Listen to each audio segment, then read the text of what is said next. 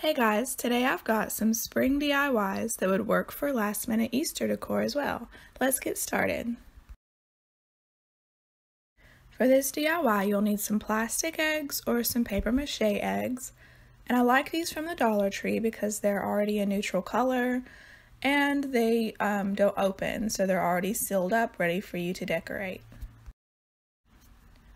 For this first one, you'll need just one page out of a book and I'm cutting um, each line out individually. So each line and um, in these paragraphs, I'm just cutting out. Um, and then I'm just simply going to Mod Podge the strips onto this Easter egg.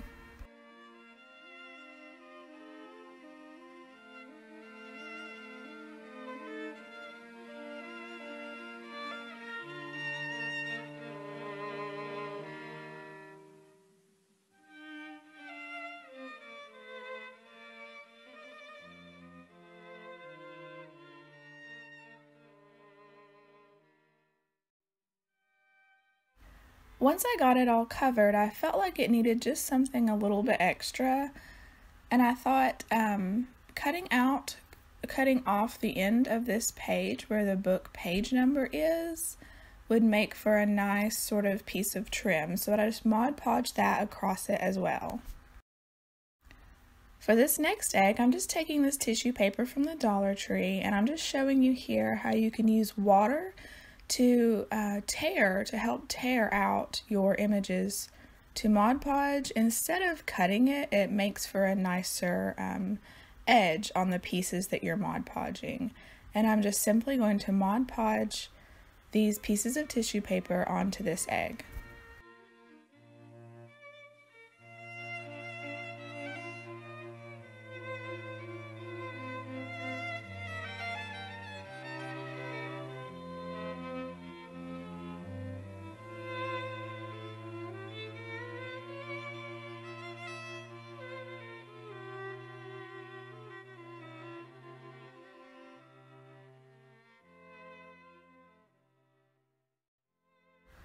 For this next egg, I'm giving the egg a few coats of plaster chalk paint by Waverly.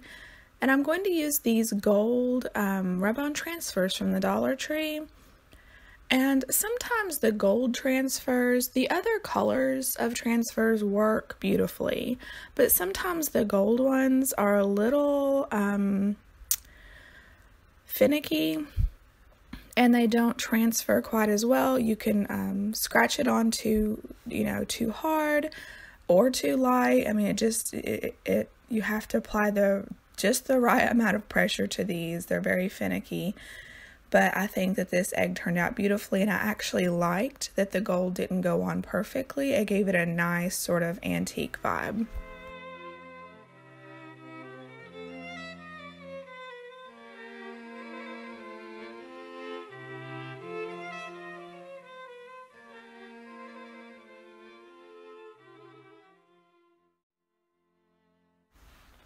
For the base of this egg, I wanted to cover up the plastic look, the shininess, and so I'm just Mod Podging on some craft tissue paper to start with.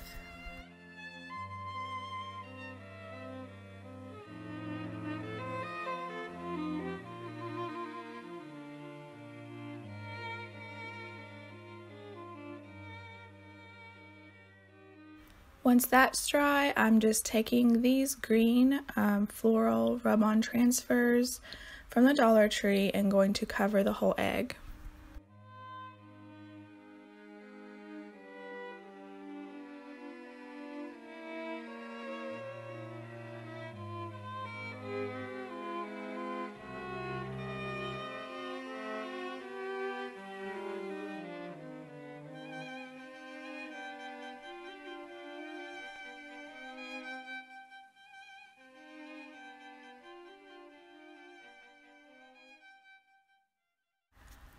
For the next one, I'm taking these half pearls from the Dollar Tree and I'm going to um, glue them on in a sort of hobnail pattern. I'm going to attempt a hobnail pattern.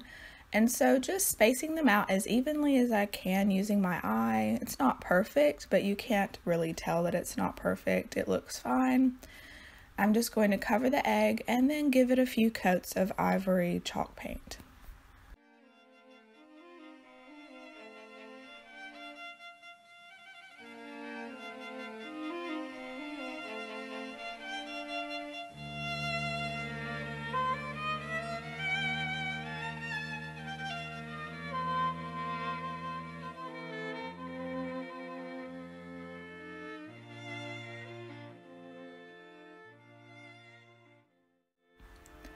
And for this um, egg, I'm trying something that I've never um, attempted before, and that's to cover this egg in beads.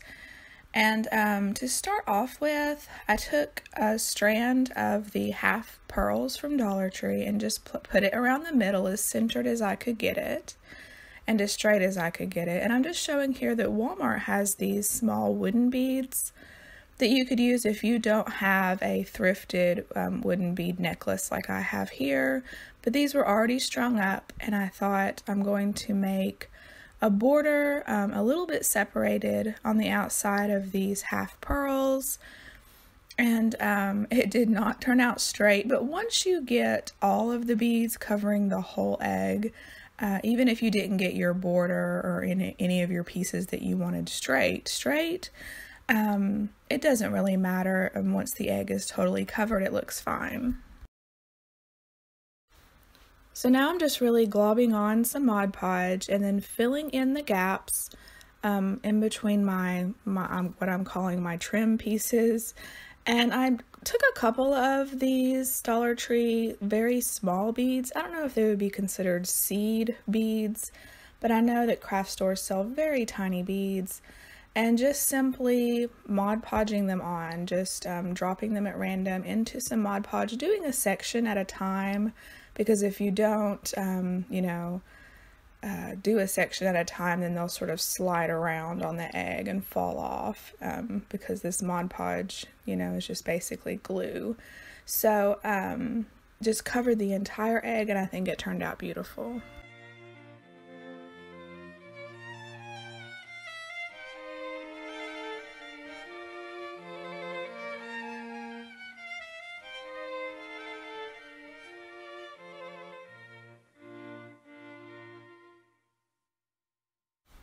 Now you could use the little cardboard container that these eggs came with, but I wanted to do something else to display these, to possibly use them as a centerpiece um, at Easter, um, or just to, you know, display as a spring decor piece. And so I'm going to be making um, a mini wooden trough. I'm using two five gallon stir sticks and I got these from Walmart and at the time of making this video, they were still three of them for a dollar. I bought these just a couple of days before doing this craft.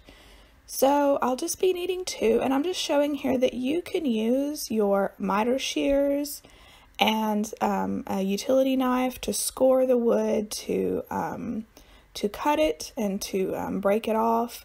And that's what I always used to do before I had this little saw. But I got this saw from Harbor Freight and I'm going to use it to just cut off the handles of our five gallon stir sticks.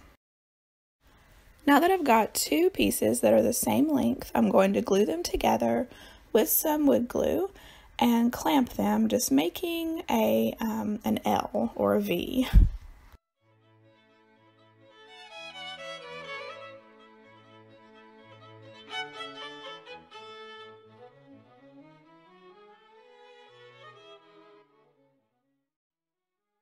I did let that glue set up for quite a few hours before continuing on, but now our trough needs some feet, and I have these finial caps here you can get from any craft store. I think I might have even got these from Walmart. But if you don't have any uh, finial caps, you can use a couple of wood beads and glue them together to make four little legs for your trough. I'm using a combination of wood glue and hot glue just so that the hot glue will hold the feet onto the trough while the wood glue sets up.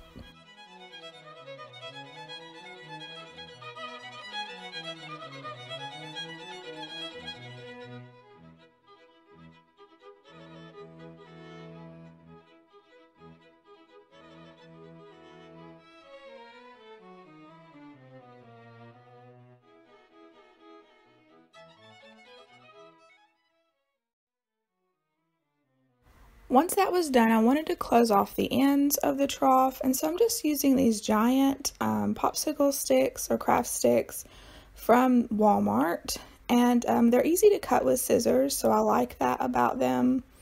And so I'm just going to use my scissors and cut a triangle to fit as best as I can um, to the shape of the ends of the trough.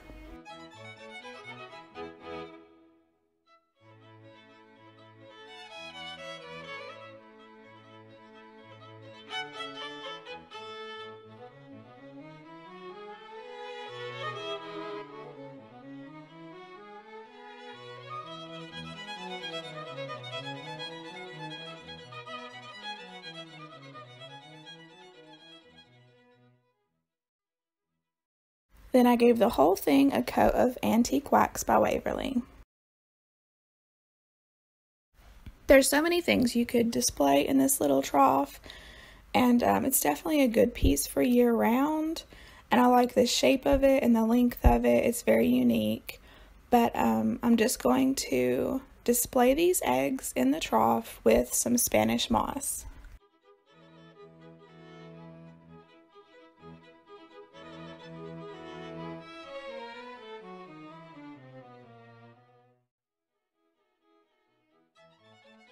The extra eggs in these pictures are some eggs that I did toward the beginning of my channel and I'll leave the link to them down in the description box.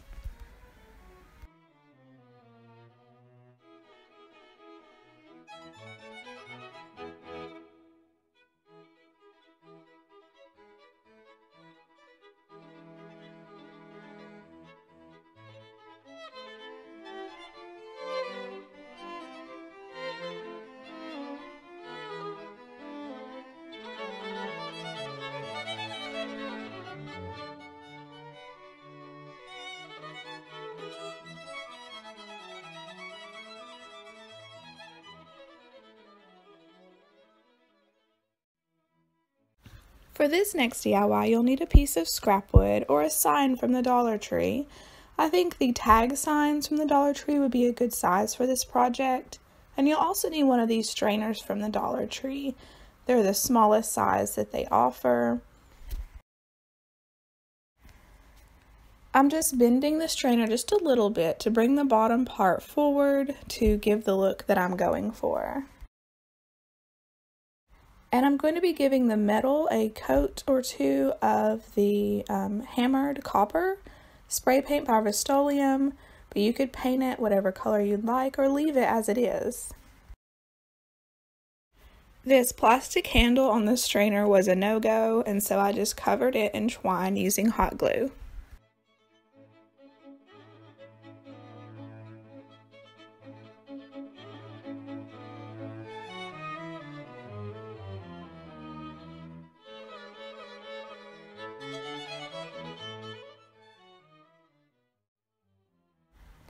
I needed some mini eggs, and um, this isn't the first time this year I've needed some mini eggs. I need to go out and find some, but I didn't have any. Last time I used some little rocks and painted them. This time I'm going to be using some oven baked clay.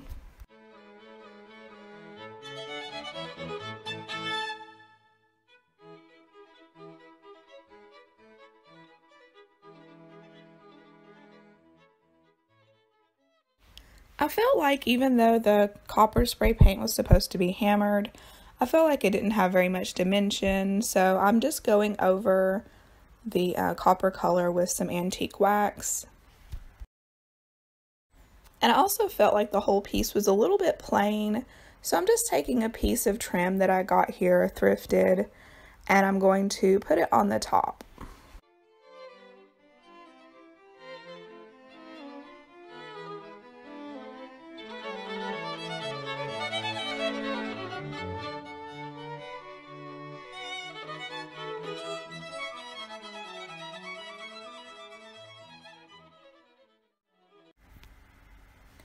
Once I've hot glued the strainer to the piece of wood, I'm just creating a faux nest using some Spanish moss, hot gluing it inside of the strainer.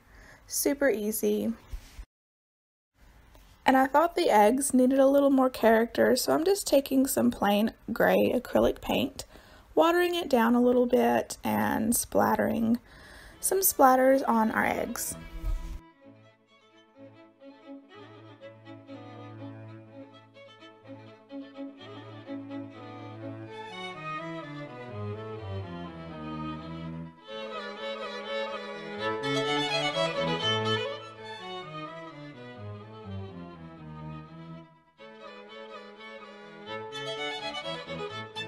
My little blue hot glue gun finally gave up the ghost, and so here I am with my um, yellow glue gun and um, just gluing the eggs inside the little strainer.